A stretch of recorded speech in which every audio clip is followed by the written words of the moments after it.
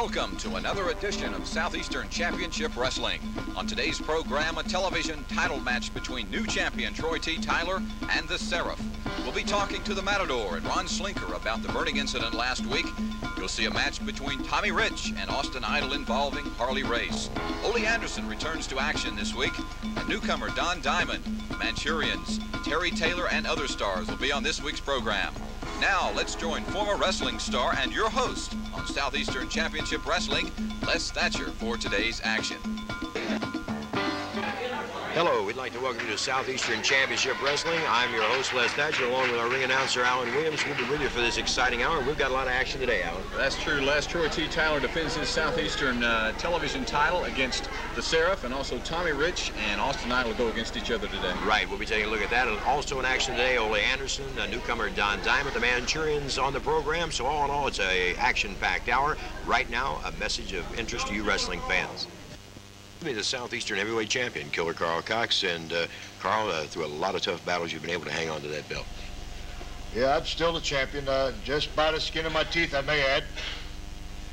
I like to uh, say a little something about the people over in Hazard, Kentucky here. This is a fine, fine crowd they had over here. you know? Yes, certainly was. Very responsive to the professional wrestling, and it's, it was, certainly was an honor and a pleasure to wrestle before the people of Hazard, Kentucky. Certainly was a pleasure. But I'm still a champion.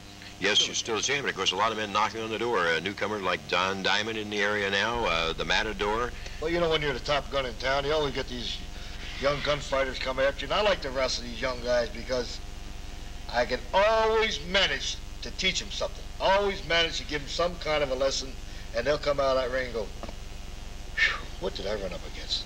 The comments of the Southeastern Heavyweight Champion, Killer Carl Cox. Right on.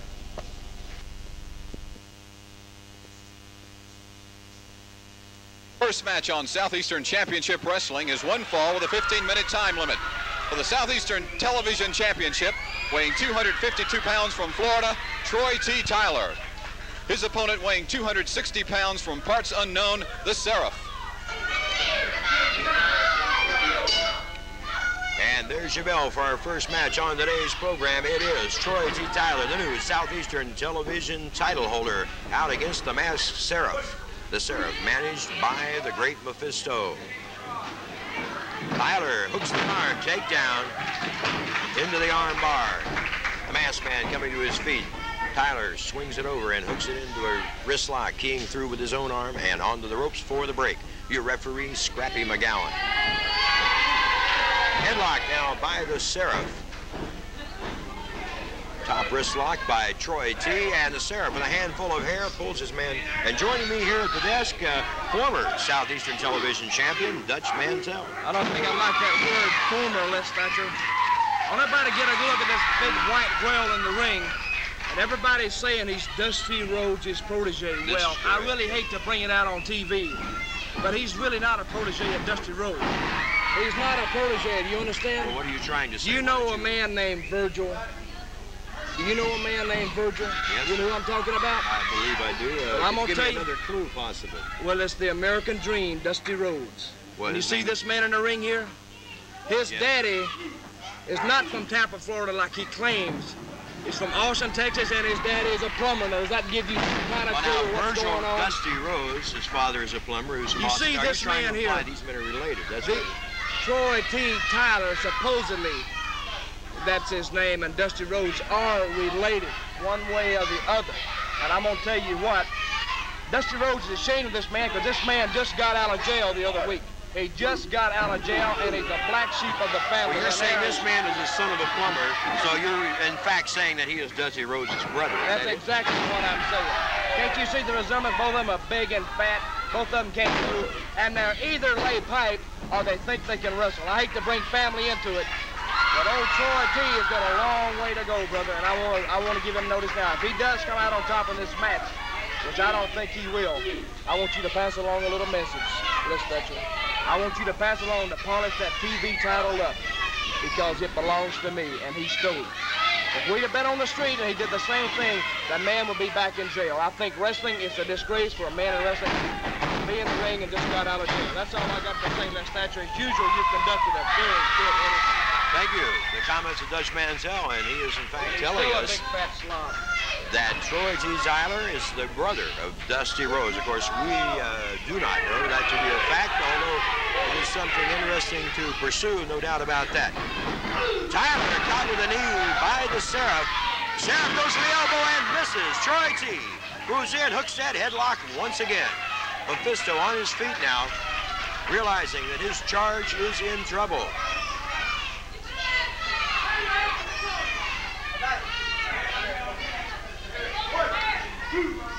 Back into the ropes. McGowan counting for the break. Seraph for the shot to the midsection. Brings Tyler out to center ring, now clawing at his eyes, and down goes Troy T. Troy T. Tyler has caught on with the fans in the southeastern area. The man, protege, brother, or whatever of the rap master, the American Dream. Dusty Rhodes. A two count on Troy T, but he pitches the masked man away. Troy up on his hands and knees, trying to clear the cobwebs now. A knee by the Seraph sends him back to the canvas. And another knee drops Troy T. Another two count, but Troy T bails out. The Seraph coming up now, moving in. Mephisto with some type of conversation with the referee. The Seraph apparently driving a fist to the point of the fingers into the throat, the windpipe of Tyler. Tyler again out on the two count, acknowledged by referee Scrappy McGowan. A kick to the midsection by the masked man and another. Tyler down. A knee by the Seraph. And the Seraph controlling and dominating the offense at this point. Catches Tyler with the right hand. Takes him into the ropes again. Catapults him cross ring now and takes him for the backdrop. Mephisto applauding the maneuvers of his masked charge. And Mephisto cocks back a right hand and shoots it into the temple of Troy T. Tyler. Tyler staggered now on the bicycle trying to clear the cobwebs. A thumb by the masked man into the windpipe once again. Tyler moving now. The masked man sending him headfirst into that top turnbuckle and again. Tyler sends the masked man in there. Staggered now. An elbow by the TV champion. Down goes the Troy T with a war hoop. Moves in. Throws that right hand into the head of the masked man. Takes him up with that backdrop. Troy T in for the cover. And a two count. The champion now moving in, setting up his offense. Goes for the headlock and that little right jab again. Right to the side of the face. Drops the masked man. Tyler opening up now on offense, going after the lacing of that mask. Going after the lacing of the mask of the Seraph. The masked man tearing at Tyler's eyes. Stops him.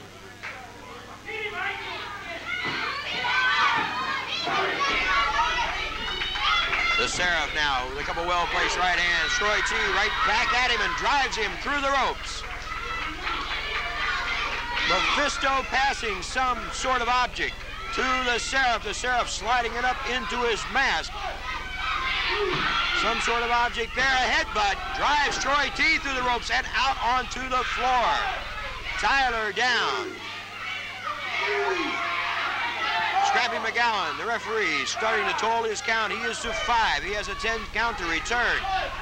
The referee stops the count. The Seraph moves in. And the Seraph, with whatever that object is in his forehead, had to be stunned by that one as he was driven headfirst into that turnbuckle. Dropping the leg, the guillotine by Tyler now. And he goes to work on the mask. Tyler trying to unlace that mask. He wants to unmask the Seraph. Once again, the mask man tearing at Tyler's eyes. Tyler again sending him headfirst into that turnbuckle. And as we mentioned, whatever that object may be, must create, be creating some pain for the Seraph. Mephisto walking that ringside now, yelling instructions at his masked man. Again, head first into that top turnbuckle. Tyler going after that mask. Troy T has got the mask, and is the Angel.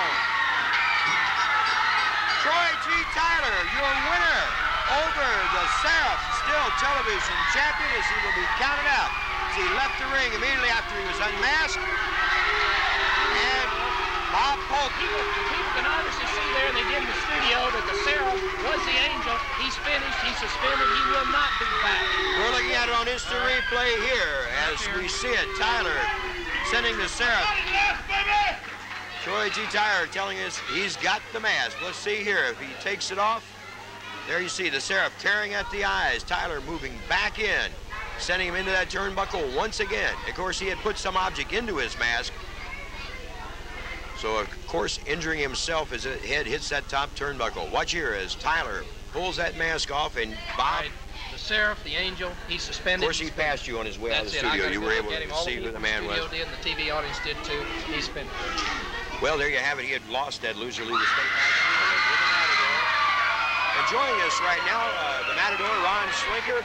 Ron, uh, we want to welcome you back. Uh, we hope you're feeling much better uh, after what happened to you last week. A lot better, a lot better. I only got a little while. I got about next week. So I'm gonna be back in action. I gotta wear a mask to keep from this uh, injury getting any worse than what it is. But I'm back, and I'm back here to stay. Believe Well, me. Ronnie, we're glad to have you back. Of course, Bob, this brings up a point. Mephisto involved with the, the Seraph, uh, the Angel, whatever you care to call him.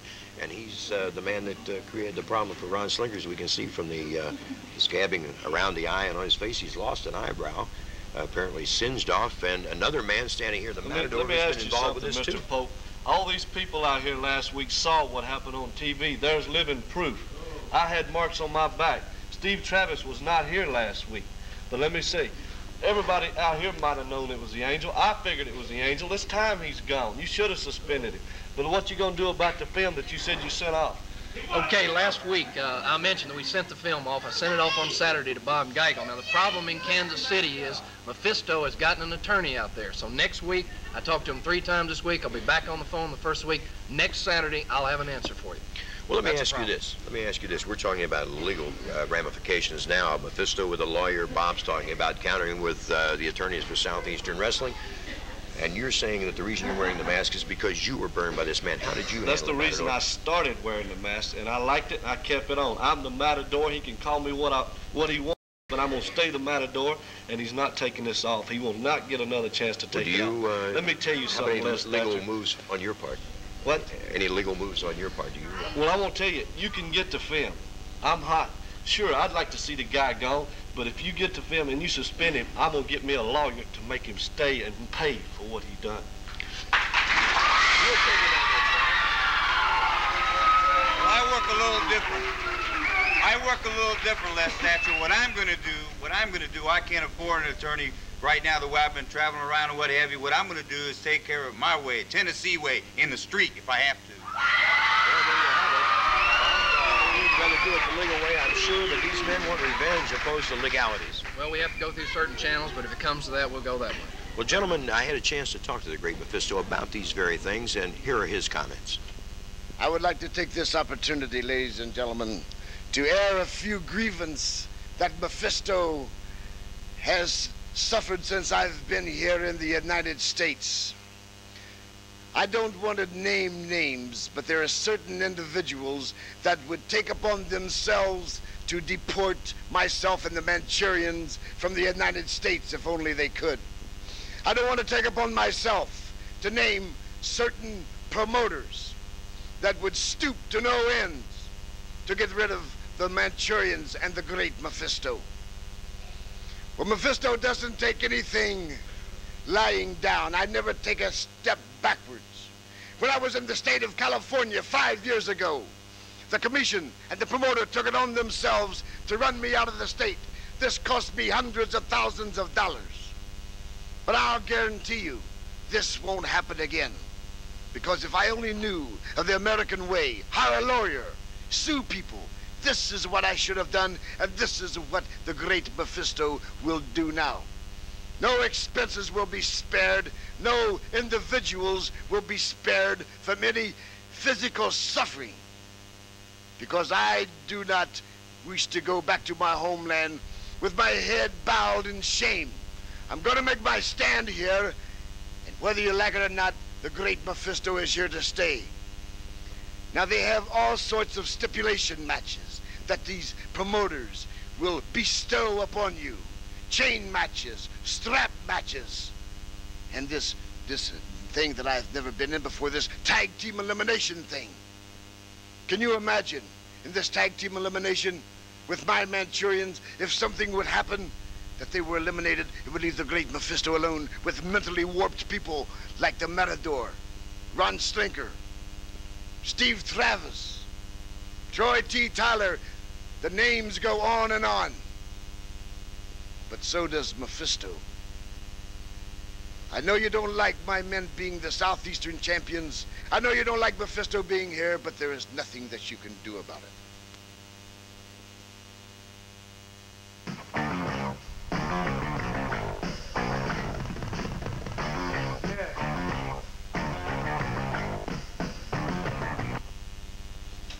With me, three of the area wrestling favorites, Steve Travis, Ron Slinker, and the Matador. And of course, Steve, uh, well received in the Hazard area by the fans, and uh, the three of you have been more or less involved with the Great Mephisto and uh, the Manchurians. A, a, lot of bad ill feelings between the six of you. I tell you what, Les, it's looking pretty doubtful as to whether or not our athletes are going to be able to participate in the Moscow Olympics this year. But I'll tell these good people up in Hazard that one thing that is not doubtful and you can bank on it that any time that myself or these two gentlemen right here can crawl into a ring with the Manchurians or the great Mephisto, we're going to go in there with a purpose. And that's to put some knots on our heads and to settle an old score. If you look at this gentleman's face right here, I think he might be able to tell you about it. How about it, Ron? Let me tell you something. He's right about the Olympics. You people remember from the last time here, I represented this country one time in the United States judo team. I'm going to tell you something right now. I'm representing you people in Hazard, and I'm representing the professional wrestlers to get these taken care of the way they should be taken care of and give them the beating of their life and repay this. Let me tell you something with this, though. Let me tell you something, Churians. When you come, bring your bags back because I'm going to take you and personally put you on a plane of the first thing that smokes and send you back where you belong for doing this to me. And of course, Matador, I, would suspect that you would echo those same sentiments of Ron Well, that's true, Les Thatcher. Let me tell you something. He's not just blowing smoke. I got a lot to settle with Mephisto and the Manchurians, too. And we're not through by no means. You know, I've met a lot of people up Hazard, Kentucky. We've made a lot of new fans. There's a lot of beautiful people up in that country. But Mephisto, you're mine. And when I get through with you, you're his. And then you might as well pack your bags, like he said, because you're gone. The comments of Steve Travis, the Matador, and Ron Slinker. And of course, anytime these three square off with the Manchurians or the Great Mephisto, you got to look for a barn burner. When Tracy worked for us in the Senate, and they could has appeared on the scene at ringside. There you see him Four times heavyweight champion of the world. Now, once again, Tommy Rich. that side headlock, it is a idle drop to the good shoulder smash, and it's Rich bringing him up. A full body slam. Idol coming up a little bit slowly that time. Rich, a hip lock takedown. Uh-uh, Idol. Almost bridged. Rich, and now you see uh, Race shouting encouragement to uh, Austin Idol, quite obviously.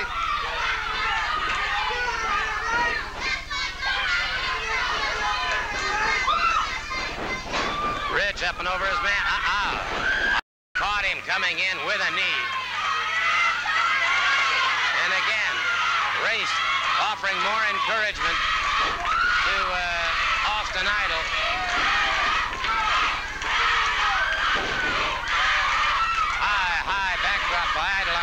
Rich the challenger. No, sir. Rich came out before that count of three.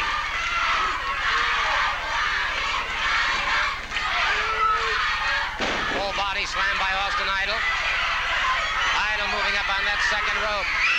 Idol crashing down across the chest of uh, Tommy Rich. That may be... No, sir. Again, he comes out of it.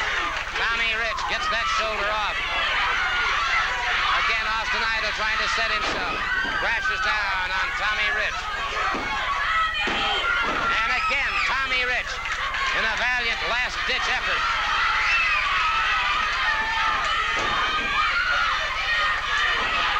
Rich fires to the midsection of Austin Idol. Austin Idol catches him in the head. And it's Tommy Rich now beginning to explode on Austin Idol. And so the television champion could be in trouble. Rich caught him coming off that second rope.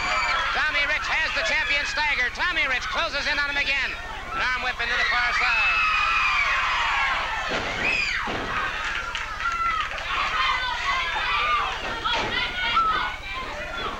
Tommy Rich has him in the sleeper. Tommy Rich has him in the sleeper hold.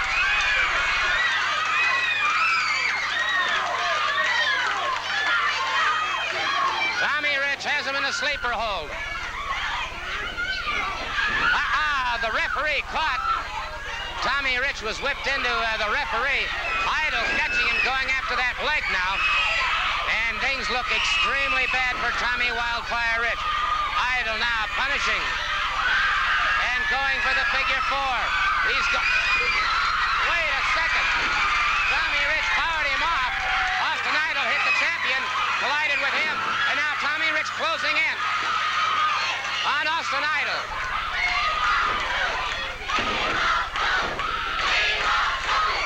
He has him down. He's got him down. Harley Race coming off. Harley Race hit Austin Idol. A count of three. A count of three. We have a new television champion. We have a new TV champion, and it is Tommy Rich. Continuing the battle here, catching the world heavyweight champion. And it is Rich after the world heavyweight champion. But wait a minute. Austin Idol coming back into the ring. Austin Idol catches him with a knee. And he's Austin Idol's going after the figure four. Austin Idol has gone after the figure four. And what is Idol doing? Idol is strapping those legs together. Austin Idol is strapping those legs together. And it's becoming obvious to me. Austin Idol, Austin Idol must be, he must be a bounty hunter. Finley comes in, tries to break it in. The world champion catches him. Donovan comes in, the champion catches him. And we've got total bedlam and chaos here. Donovan caught again by Harley Race, the world champion. In the meantime, Tommy Rich And there you have it. Uh, you see what exactly happened. Of course, during his convalescing period, uh, Wildfire Tommy Rich uh, took therapy and treatment at a clinic in Columbus, Georgia. The ligaments in his knee were uh, badly torn. He was out of action for five, week and, five weeks and has just returned to action. I'd like to point out in the tape that you just saw the fact that Austin Idol did put on the figure four leg lock and use a belt to strap Tommy Rich's legs to his own. The fact is he did receive $5,000 in bounty money, but I personally feel there was more involved here with Idol and Rich than really meets the eye or that Idol is willing to say. But Tommy Rich is now back in action. Extensive training, as I said, therapy and treatment on that knee has put Tommy Rich back into a wrestling ring. And now Tommy Rich wants what's due him, a chance at world champion Harley Race. And right now, we'd like you to hear these comments from Tommy Rich. There's no more popular wrestler in the world today, and I mean that sincerely, than this man, Tommy Rich, who's from Tennessee originally.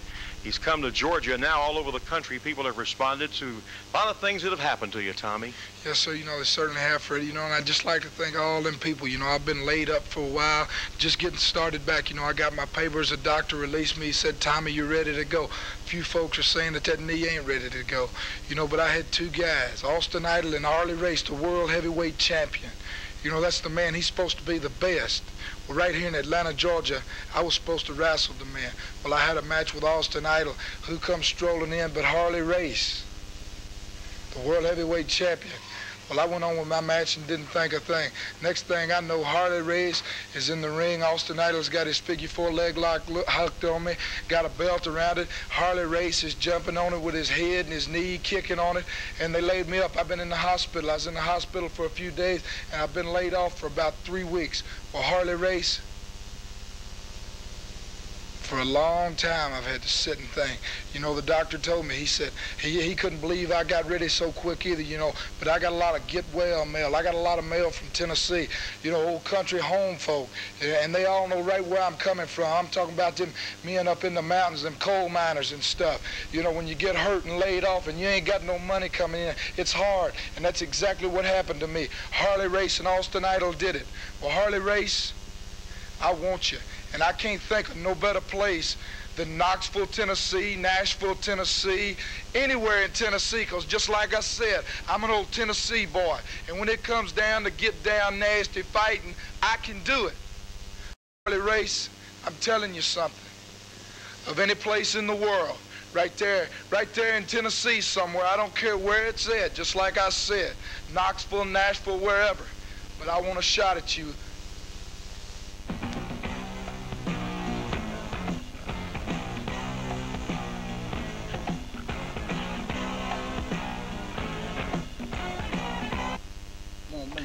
With me, Troy T. Tyler, uh, protege of the Rap Master. And Troy, I know that uh, you've been welcomed by the fans throughout Tennessee, Virginia, and up into Kentucky, around the Hazard, Harlan, and uh, Hyden area.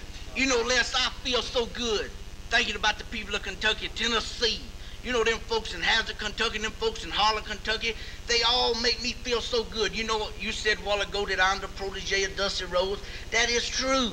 The American dream taught me how to get down and shuffle taught me how to rumble in the jungle because I am Panther's quick, leather tough. I am bigger than I've been pushed enough. I have a dream that I'll hold to my dying breath. I serve for my soul and gamble with death. You know, I was born standing up and talking back. Made only flesh, blood, and bones. You're gonna start a rumble, don't try it on your own. Eat razor blade biscuit, chew bubble gum. Anything the whole world can't stand, bring Troy T. Tyler. So, you know, I started across the Sahara Desert. There wasn't no water in sight. To come or die trying, T. Tyler's here to do it every night all the people in Tennessee, Kentucky, you know, they got more pretty girls in Tennessee and Kentucky than they than they got moonshine. And brother, you know that covers a lot of ground. Let me LT. let me interrupt you while you're laying it down, Troy. All right, uh, you're now the Southeastern Television Champion, and of course, the man that had that title before, Dutch Mantell, is a very upset gentleman over the fact that he lost it to you.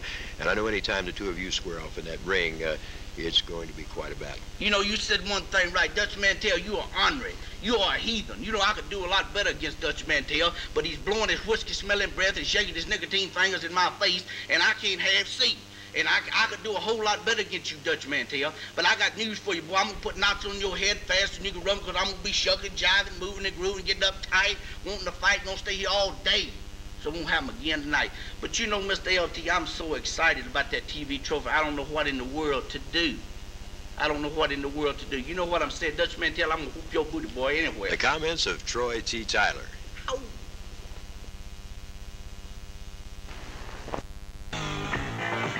Our second match is one fall with a 15-minute time limit, weighing 275 pounds, John Irby.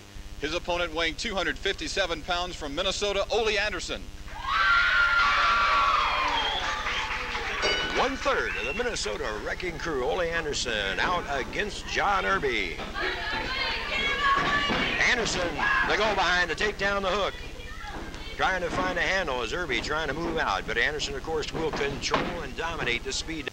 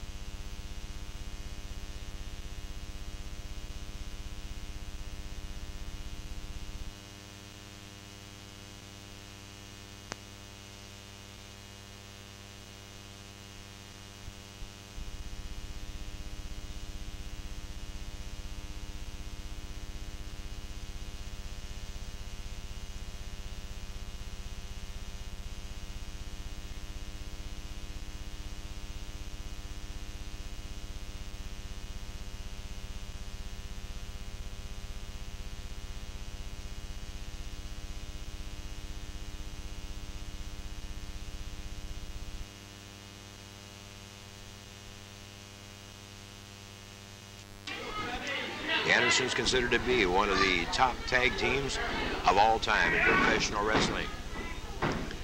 Rivaling such teams as the Scott brothers, the Sharp brothers, the Torres brothers. And right now it's Ole, the youngest of the three Andersons, with the armbar on John Irby. The first few moves of the match uh, prove that John Irby is certainly outclassed here by Ole Anderson. Irby, uh, this uh, commentator's experience, would I would say is carrying a, a bit too much weight, and of course, that's what I say. This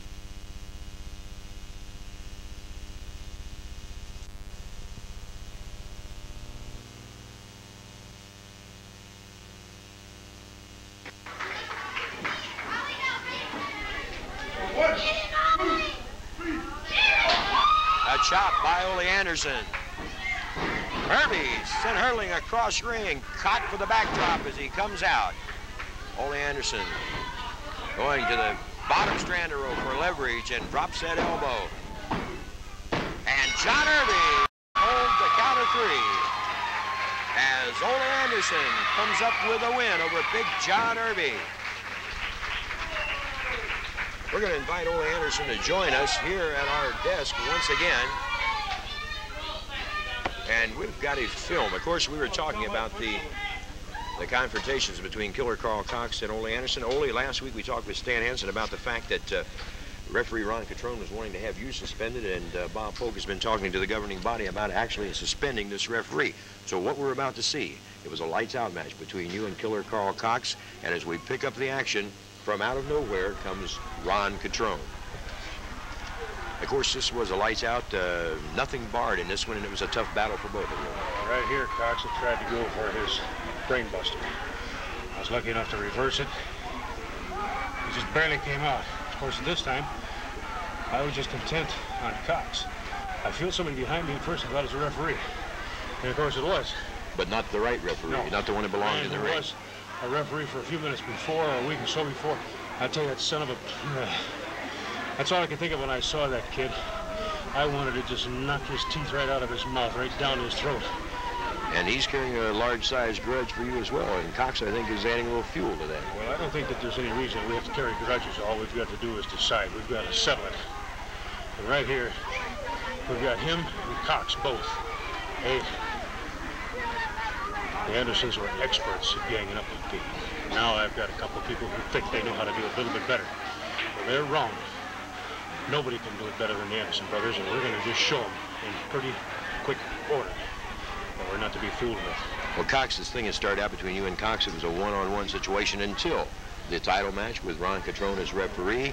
And then, uh, even though Catrone was not assigned in, in, in the arena the night these matches were filmed, the fact is he had uh, come out into the audience and, as we saw, hit the ring when he thought his buddy Carl Cox was in trouble. Well, we found out later on, even by Cox's own admission, apparently they're both former Marines. They'd known each other some time back, and I think Cox just pulled a smart move by planning the guy, getting him to referee. Everybody looked at him as an official referee. There he is again coming back at me. Uh, And of course, uh, he battles the same way Cox. Well, Ole, I think the, my comment on this would be that if Cox and Catrone plan on teaming up, uh, they've bitten off a large size order because uh, the Minnesota Wrecking Crew, uh, as I had mentioned while you were in the ring, have to be considered possibly the top tag team in the sport of professional There's no wrestling. possibly about it. You know, right now, I had Stan Hansen. Well, Stan is busy. I tried to call Andre. I tried to call a bunch of different people. And I said, what in the world am I calling everybody all over the country for? There's only one person you can really turn to when you need somebody. You got to go to your own family. And I said, Lars, what about it? And he said, brother, anytime, anytime. So now you're not looking at just me, Carl, or any of these other people. You're going to be looking at the Minnesota Wrecking Crew. Back together again. And when that Minnesota Wrecking Crew gets here, you just better watch out. The referee, Carl Cox, anybody else, anybody who gets in the way. You throw the angel in there, I don't care who it happens to be. Masked guys, not masked. The Minnesota Wrecking Crew, when we get together, we're going to do just what our name implies. We're going to do some wrecking. And these and people like Cox are going to be in for a treatment. Ole, thank you very much. You've seen the film. You can draw your conclusions. You've heard the comments of Ole Anderson. Now we have a new sensation arriving in the area out of St. Petersburg, Florida, a young man by the name of Don Diamond. We're going to talk to Don in just a moment, but first, let's take a look at some action footage as he squares off with Rick Oliver. Oliver, ahead. That was a rough move in there, Gordon. As you see, uh, he, he was going for it, and Oliver didn't want to it at all, and he, uh, he put the stops to it. Oliver powers out again before the count of three. There's that Russian leg sweep. Good float over. Hooks the far leg, the count of three here. Beautiful, beautiful match, Gordon. Excellent match, and Don Diamond in a well-deserved victory.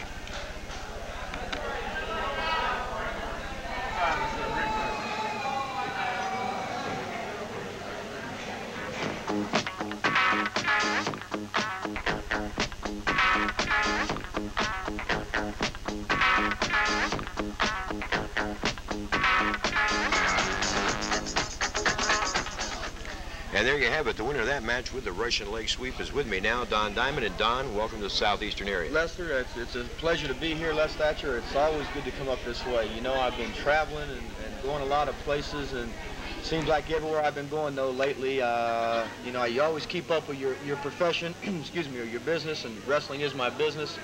And anywhere I go, I always keep up what's going on around the country, around the world, and everywhere I turn, big things keep coming up, and all you keep hearing is Southeastern Championship Wrestling, Southeastern Championship Well, Wrestling. let's back up just a minute. Don Diamond was a uh, state champion in high school as, as a wrestler. You had several football offers, but you elected to go pro as a wrestler. I know you're trained, trained in probably the top camp in the country. Verne Gagne's up in Minnesota under uh, Vaziri, right?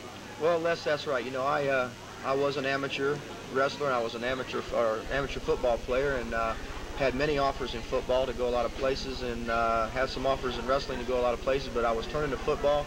I got up to Minnesota to look at University of Minnesota, and met Verne Gagne, who everybody knows one of the greatest wrestlers ever ever to be, ever to live.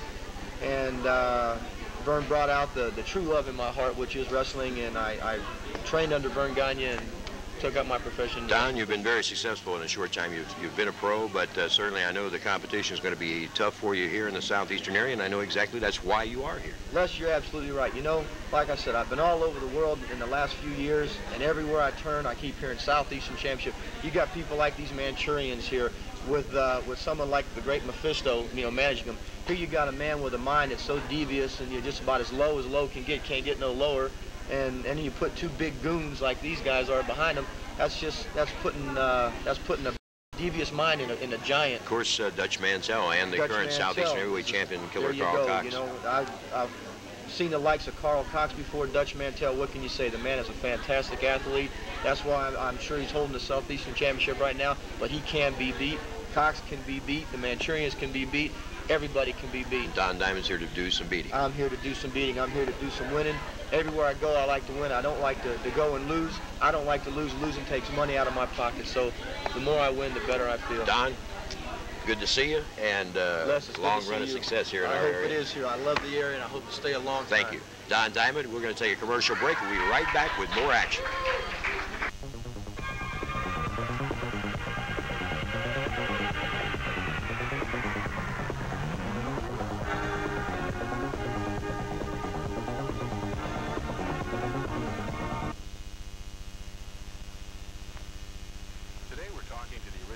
Joining me as his team will be entering the ring for this next contest. But Mephisto, of course, uh, the Seraph, a.k.a. the Angel, uh, after being unmasked at the top of this program, has been suspended. And talk in the dressing room is that you are the man that suggested he put the mask on and stay in the area. Well, as far as the Seraph being suspended, I wholeheartedly agree with the officials. They should suspend a man like that. You know, now, as far as the Angel, and, and, and I am concerned, we we parted a long time ago, Les Thatcher, when he had a man, you're his loser leave. He had a loser leave town, and that, that was all. And as far as I know, the, the, the, the Angel was gone. Uh, he had a lot of ability. The Seraph had a lot of ability. I had nothing to You're do. saying you have no idea who was under that mask. You said No, no idea. He come to me as a masked wrestler, and he wanted to wrestle. He wanted the manager. The comments of the great Mephisto, and right now the Manchurian should be entering the ring for this match. It's tag team action. Let's go to Alan Williams.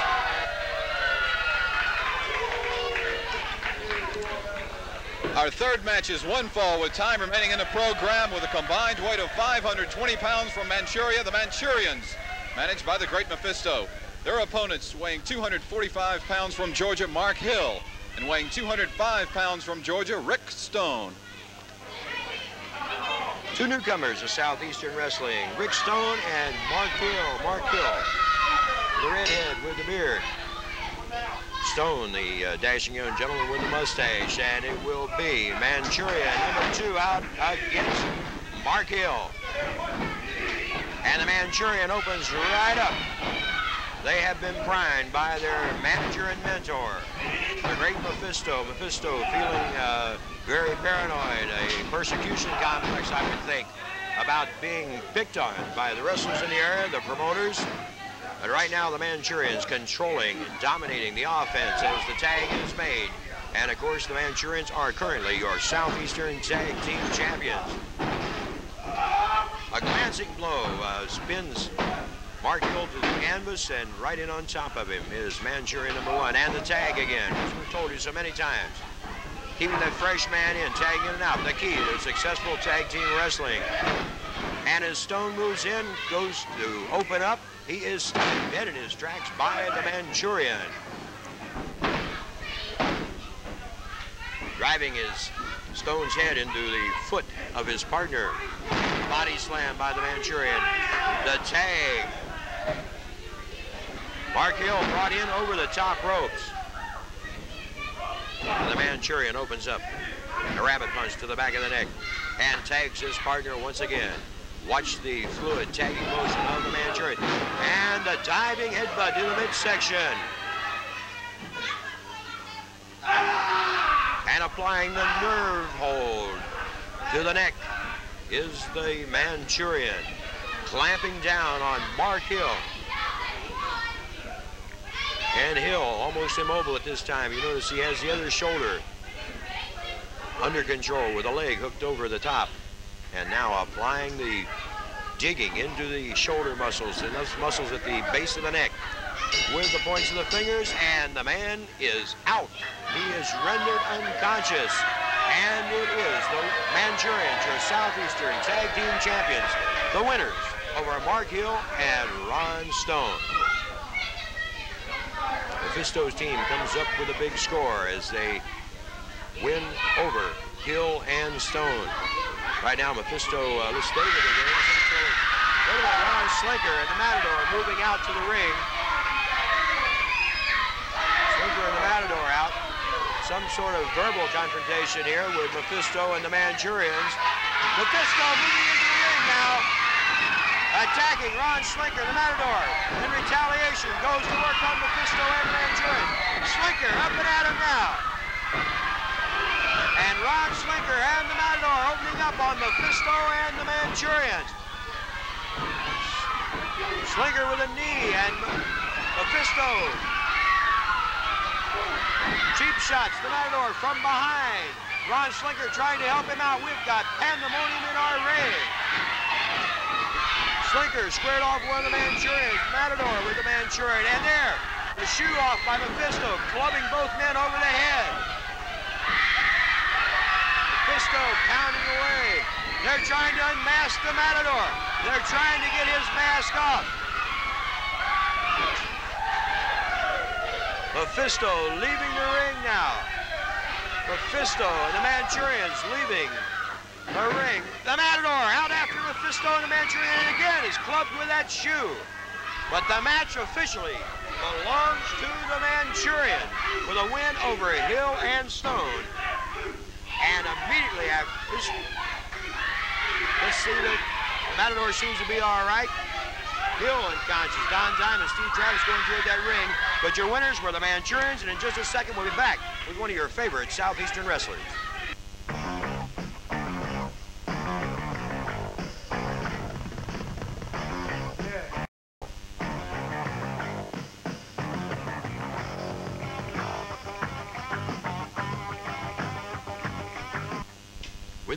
Mephisto, manager of the Manchurians, the current Southeastern Tag Team Champions. And Mephisto, you've accomplished something in a very few weeks that I don't know of any other manager or wrestler to have done in this area, and that is you have practically every wrestler up in arms gunning for not only your champions, but for you personally.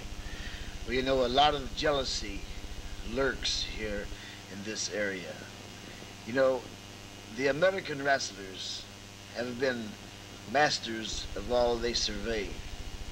But when the Manchurians first arrived here, it was only a matter of a few weeks until they captured the Southeastern tag team titles. And then they, they couldn't face my men in the ring and then beat them physically. So they conjured up all sorts of lies and all sorts of lies about myself. There was that... Uh, that Lies? You're talking about a beating in the parking lot, allegedly, uh, over Oh, yes, the yes. Matador and Jerry Yeah, Roberts. yeah, you know that... that Fire that was thrown on this program just Now, last wait a minute week. now, Les Thatcher. Wait a minute. in you say face of fire. Ron Slinker. Now, that has not been proven as of yet. Now, you're going to hang me before I ever have a just trial. I have been accused of throwing fire. Now, the only thing that I can think of, and I'll tell you right now, that karate man, that Ron Slinker, has been using lethal karate blows to destroy men for a long time. Now, he was hired by this crazy man, this matador, to finish off Mephisto. When he came into the ring, there was some sort of a crystal thing that he dropped. When I picked it up, it exploded and went into his face. And it caused a severe burn. Now, as far as the matador being uh, assaulted on the street, I know nothing about this. I don't know anything. Uh, in, uh, All you know is that you've got the tag team champions, and you feel that that's adequate. The persecution complex that you're developing, you feel is unjustified. No, I have no persecution complex, but I'm going to do some persecution. The comments of the great Mephisto. Memories of that for a few days vacation. But until next week, Les Thatcher, Brown Williams, and everyone here at Southeastern Championship Wrestling saying thanks for being with us and join us again next week on Southeastern Championship Wrestling. You've been watching Southeastern Championship Wrestling, voted the number one wrestling program by the Wrestling Writers Federation. Join us again next week for fast-paced action on Southeastern Championship Wrestling. Announcers on this program provided by Southeastern Wrestling Incorporated.